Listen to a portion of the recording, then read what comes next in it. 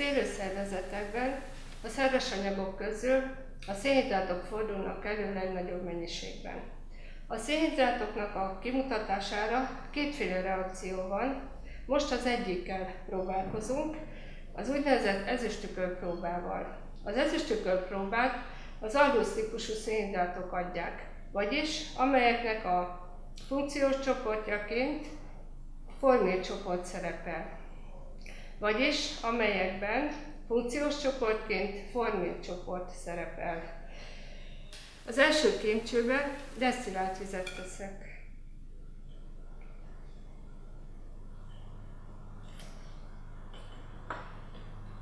A második kémcsőbe glikózoldatot,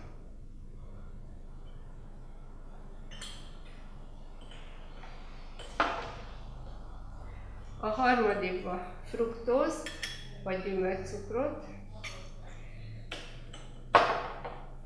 a negyedikbe a laktózt, más néven tejcukrot, öntök,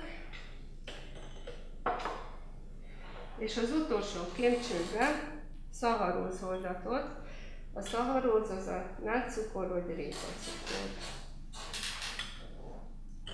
Mind a négy kémcsőbe öntünk ammónium hidroxidoldatot.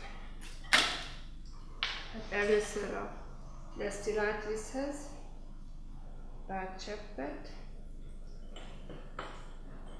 aztán a glükózoldathoz,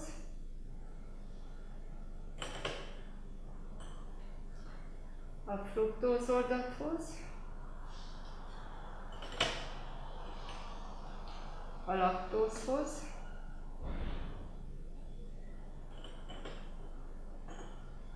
és a szaharuszhoz.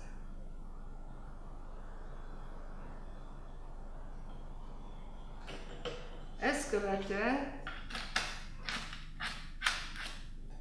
minden oldathoz ezüstnitrátot oldatot öntünk, tehát a desztillált vízhez, és belerakom vízfürdőbe főzőpohárba meleg víz van.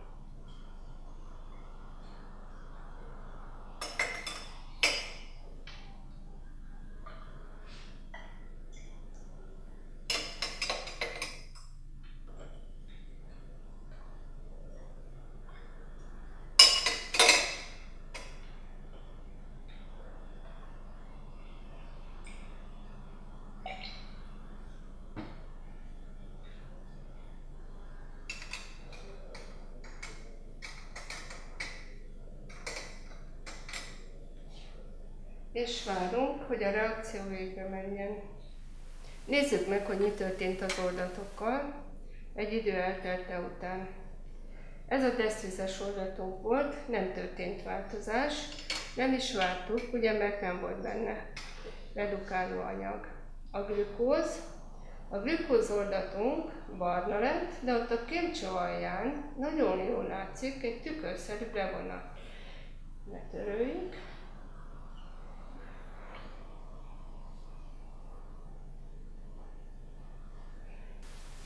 Vagyis az ezüstionokat az aldehid csoport fém ezüsté redukálta. Tehát a fruktózoldat ketohexóz, azt várnánk, hogy nem történik redukció, vagyis hogy nem válik ki az ezüstükör. Csak hogy mégis kivált. Ennek a magyarázata az, hogy a fruktóz átizomerizálódott glükózzá. A következő oldatunk a laktózoldat. A laktózoldat diszaharid, de redukáló, ami nagyon jól látszik, mert az ezüstükör kivált a kincső alján.